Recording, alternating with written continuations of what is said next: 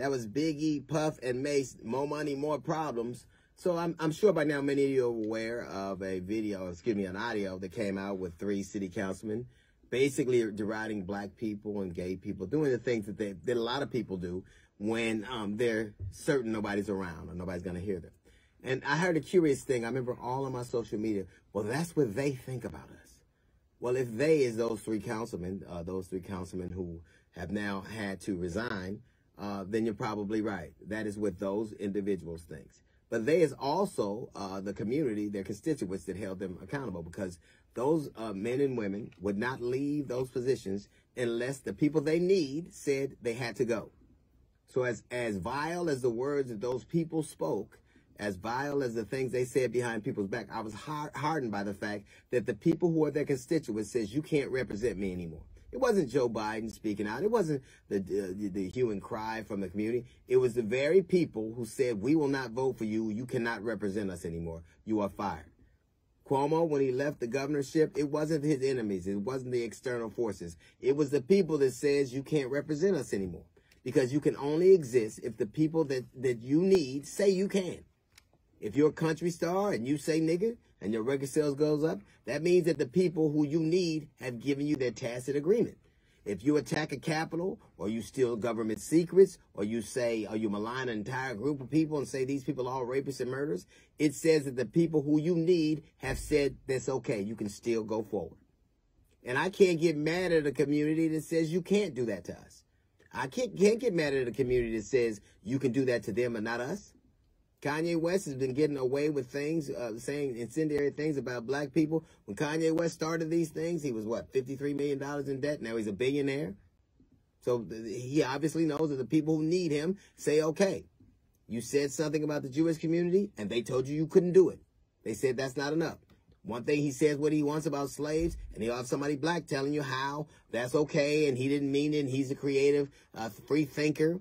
Oh, they'll wear his T-shirts. They'll explain away. I didn't see anybody from that uh, from the Jewish community saying it was okay, because I'm sure they don't all agree agree on everything. But what they do all agree on is you can't do that to us. The same circumstances exist. Well, you know, he's he hasn't been the same since his mother, and he's mentally ill. He was all those things when he insulted them. It still didn't stop him. Well, he had all those voices in his head, all those voices in his head, and all of them are off social media because I can't get mad at a community or somebody who won't allow you to do th- something to them. Of course, they, they, have no vested interest in what you allow.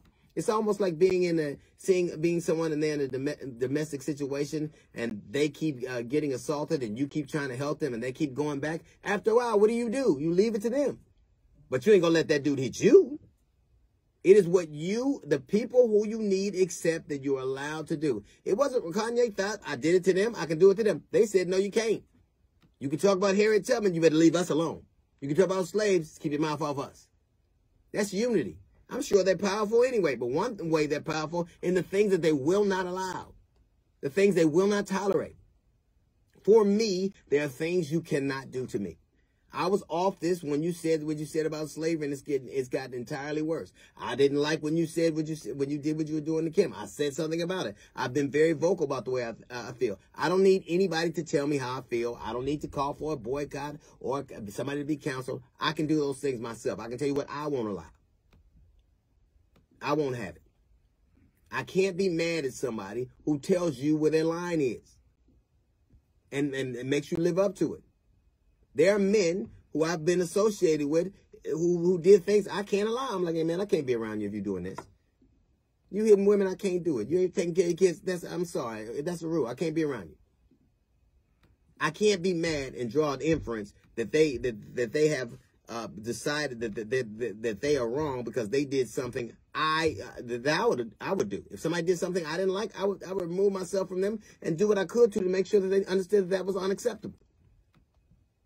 You can't be mad when somebody doesn't allow. They, them, our, it, those individuals, the people that support, like to me, in my estimation, you cannot be both a decent human being and a Trump supporter. Those worlds cannot exist in my estimation. The minute I hear you say this is what you do, I have an estimation of you and you live in that place in my head. Just like people think, think the things I support and like, I'm prepared to live in their head. I can't be mad when somebody says, when somebody says, tells you how they will allow you to treat them. That's admirable to me. Whether it's a woman or a community or a team or an individual. And it's really a simple thing for me. No one has to know what they will do. They just have to know what they want. Nobody has to know what they will, what they, what they, what they will accept. Just know what you want. Because if you ain't got a bottom, if there's a place that you will not allow uh, things to go uh, from, then you don't have anything. A house is built from the ground up, not the roof down. That's a little note from the GED section. We got the Jazz Report coming up in 15 minutes. It's the D.L. Hughley Show.